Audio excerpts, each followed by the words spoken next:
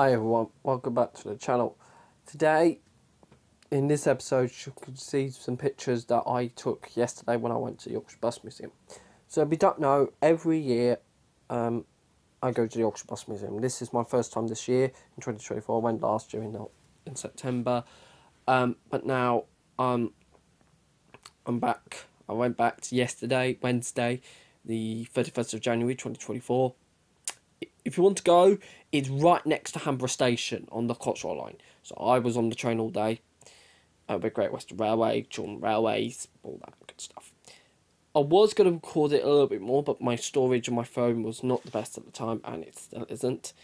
Um, but yeah, you'll see some pictures of what I took yesterday at the bus museum. If you want to go, it's open every Wednesday and Sat every Wednesday and Sunday and sat every Saturday in July and August.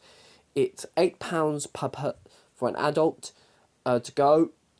If you're paying in card, you do need to spend ten pounds minimum. However, but that's okay. So yeah, brilliant place to go to if you like buses. There's also the Morris Museum, which has uh, Morris cars. Also bikes, if you like bikes. Um, but it's an absolute brilliant place if you're going this half term in two weeks' time, you will also be able to get some free free rides on a heritage bus. It will be one of their one of, the, one of their vehicles. Um, the journey leaves at quarter past twelve on the Wednesday.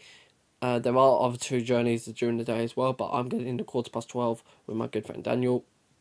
Um, we'll go down there early in the day, have a look at the museum, and then we'll go on the bus. Um, if you want to go there, as I said, it's right next to Hanborough Station.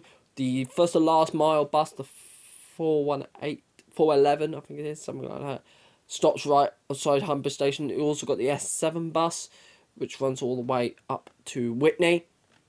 It used to also be, I believe, served by the 233 bus as well, but that's now been covered by the S7s. So you, I strongly recommend it. Obviously, uh, as part of the £2 fare thing, it's only £2 there. Um, the train costs a little bit more, but I did it from Aylesbury. But with a rail card from to Oxford, it's only about three quid. So you can't go wrong there.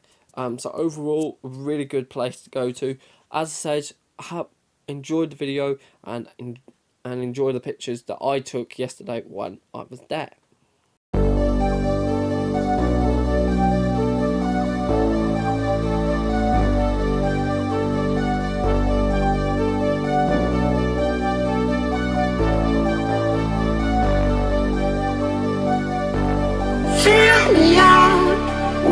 Your smile.